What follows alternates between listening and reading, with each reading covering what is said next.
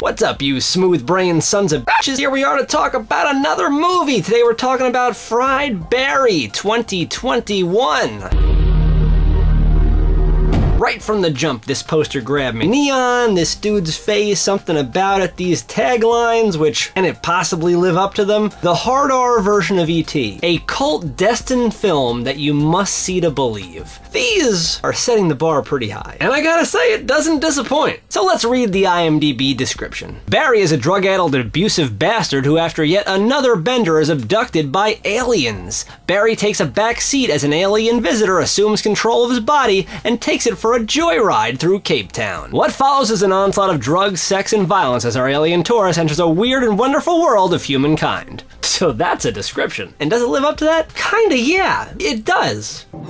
Hey, hey, what the fuck is this now? Uh, no saki saki, come, come, come, come. From the beginning, I was like, eh, it didn't seem like it was gonna be following that hard R E.T. as advertised, but over time, it really did kind of fall into that. And, and even when it wasn't on that path, it was always interesting, always full of really weird character actors that are in it for just a small amount of time, but their amount of commitment and sell of these characters is like off the charts. There's not a single person phoning it in. I believe every character on screen, and they are so outlandish that you're like, well, that has to be a real person. This has to be based on somebody. What is that person? So I think it was a little bit racist. I know, because I'm a little bit racist. That's why I like coming here, okay? This is a film where I could explain every single thing in detail that happened in the movie, and it wouldn't affect the watchability at all. Everything about this is like a visual feast. It's weird from its tone and lighting, how things are filmed, just the exaggeration and effects. Just a really fun time. And then she whipped it out.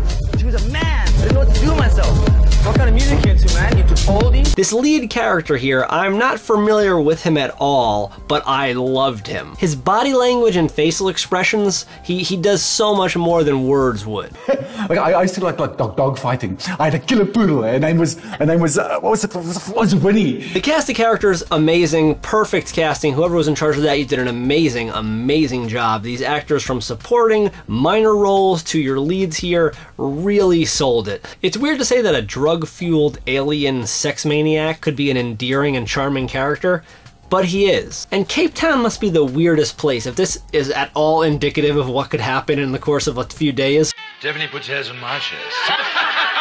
The only thing that took me out of it, and maybe it's just that I'm not from there, this main character to me is very strange looking, and that's part of what drew me to this poster. But everyone in the movie seems to believe he's like the most attractive dude. It's really weird. Changes the inner changes that you experience, much to your annoyance, old data has resurfaced. This movie is the fever dream of somebody who took a handful of shrooms, very potent ones, and then watched 24 hours straight of Die Antwoord music videos, and then said, I'm going to film one long segment for the movie Clouseau. That is Fried Barry. That was different.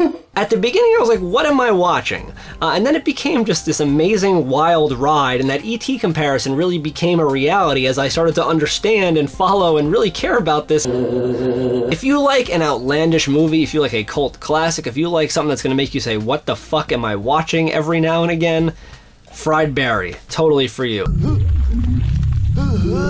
Science test, Barry. We'll give you a call, man. So it's listed as a comedy horror sci-fi, and I will agree there are elements of all those things. It is unsettling at times, it is disturbing, but it's always interesting. This is a really fun watch. Would be amazing for a group watch, but I think the group watch could take away from it in some aspects if your friends are talkative or, you know, annoying in any way. It's something that if you did not pay attention to certain parts, you'd be like, where the fuck am I? Because there's so much happening in this movie. Mm, mm, yum. The director is Ryan Kruger, and this is his first feature film, and I am so excited for him to do more feature films. He's done a million shorts, and that kind of makes sense with the vibe of what you're seeing here, because it does have like music video elements with how fast paced it is. There's always things happening, and I, I love that about it because it certainly holds your attention. There's even an intermission at one point, and you're like, you're like, wait, wait, how long has this been? But it's not that long, like an hour and 39 minutes but it moves. Hard to recommend. Again, this is on Shudder. Let me know in the comments below what you thought about it. Don't die in a fire. We'll see you next time, and until then, fuck off. Just daggers. You know that he's the sharpest in the shed with content so killer that he left them all for dead. Yeah, cause like I said, no, he don't do this just for fun. Never stop until the top because he's going number one. Just daggers. Always cutting through the competition. Everybody listen, homie, he came up here on a mission. Got him wishing that he could take a break to stunt. But the point's to stay sharp, ne- never going blunt.